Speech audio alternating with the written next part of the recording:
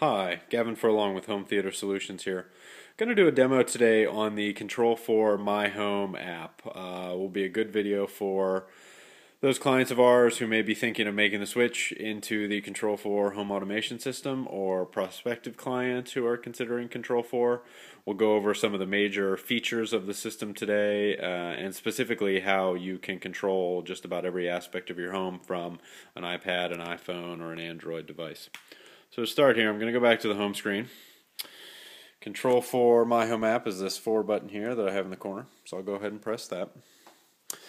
I have this um, iPad working inside my own home at the moment, but we can configure this app to work from outside the home. So if you're on the road or at the office and need to control a particular system in your home, turn lights on and off, adjust the thermostat, you, uh, you we can certainly configure that for you, and, and uh, you can do that.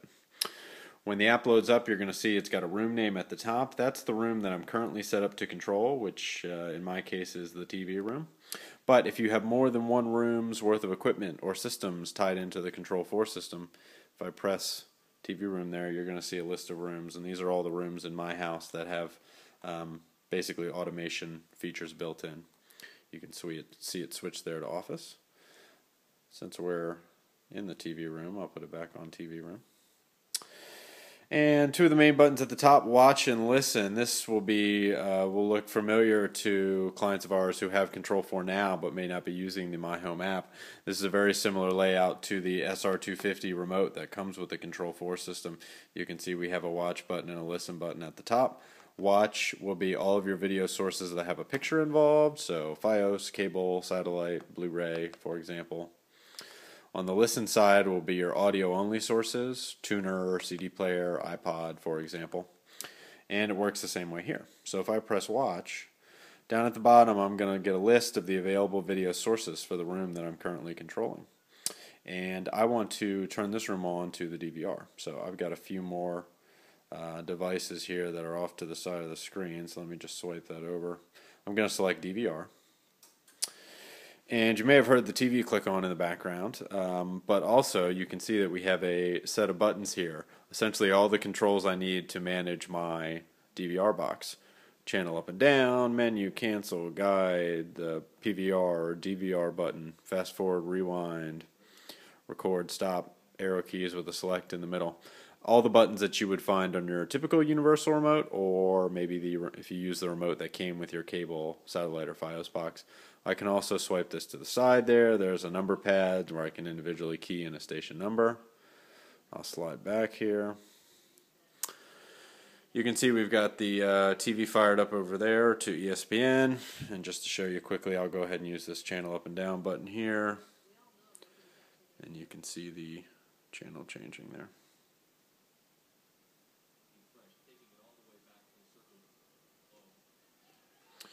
So all the controls I need for my DVR box are right here available to me on the iPad.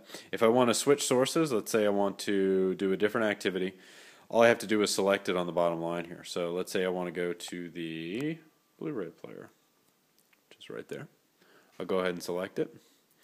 And you can see that my buttons up top have changed. Um, the app is only going to give me the controls I need for the device that I'm using. So I still have my arrow keys to move around the menu, select, menu, cancel info, fast forward, rewind, all that good stuff.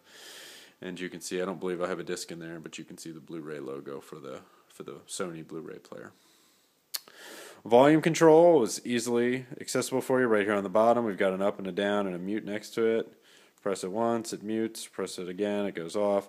There's also a power button to the side, which will turn off the room that we're currently controlling. I'll go ahead and press that. This is a feature you can turn on and off. You can see it gave me a pop-up there, uh, just a confirmation page to make sure you didn't accidentally hit the power off button. It's asking, do I really want to turn off the TV room? And yes, I do. So I'll hit yes. And you can see that my TV has gone blank over there. And my controls for the Blu-ray have gone away. I'm back to the main Control4 screen here. So while we're here to show you a few other features, let's go into HVAC. In order to add your uh, HVAC system to the Control4 system, we take down your existing thermostat, we put a Control4 thermostat in its place. It's quick and easy, it's all wireless, no wires to pull. What we see here is the current temperature in the house, 76. You can see my cool and my heat set points. Cool is set to 78, so when the inside temperature gets above 78, the AC will turn on. Heat is set to 70, same thing in reverse. When the temperature gets below 70, the heat will turn on. I can control the mode here, cool, heat, auto, which will use whatever um, aspect of the HVAC system it needs, heating or cooling, or you can turn the system fully off. I also have fan control here. It's set to auto. Auto, I could turn it to on or off manually as well. And you can have more than one thermostat. I have one showing here. It's not actually controllable. It's just giving me the temperature in my garage, which is currently 70 degrees. But if your home has, let's say, an upstairs and a downstairs thermostat, we can tie both floors into the control 4 system. We would just need two of the wireless thermostats. We'll replace the, the two that you have existing. So I'll press this back button here to go back to the main control 4 page, show you a few more things. Let's go into lighting control. Lighting is just as easy as the thermostat. We, uh, in the case of the lighting, we take out your existing switch or dimmer and we put a control 4 switch or dimmer in its place, and then you can go ahead and uh, control that lighting circuit through the iPad app, through your remotes, inside or outside the home.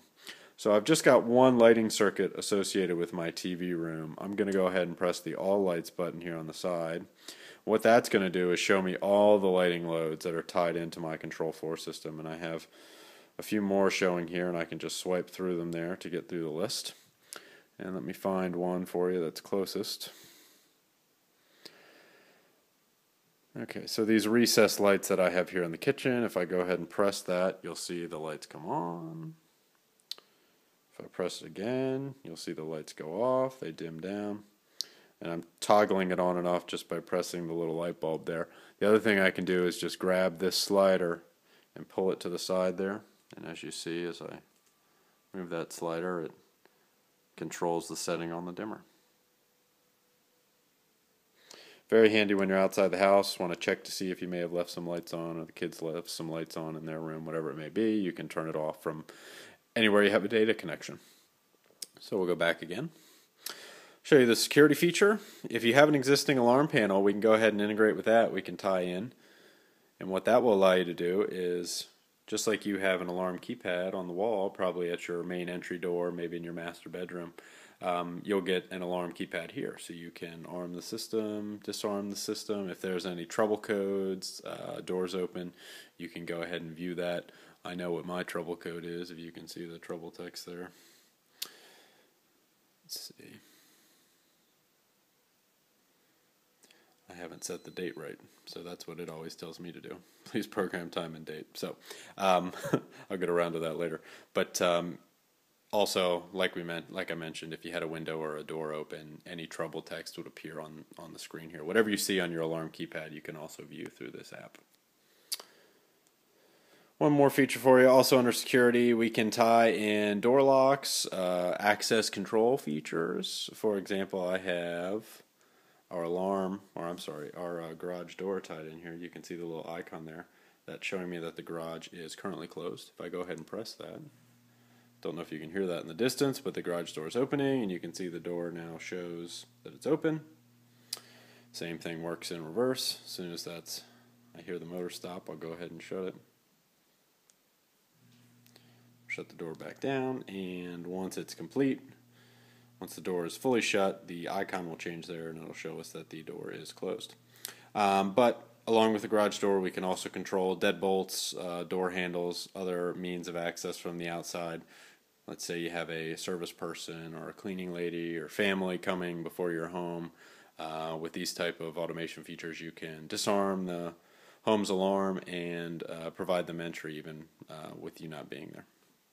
So, just a few of the major bullet points on the Control 4 system. Lots of other features that um, we can use to uh, make your life a little bit easier and give you a, um, a nice, clean, and easy to use control interface for just about every aspect of your home. If you have any questions, please certainly contact us and we'd uh, be happy to talk to you a little bit more about Control 4. Thank you very much.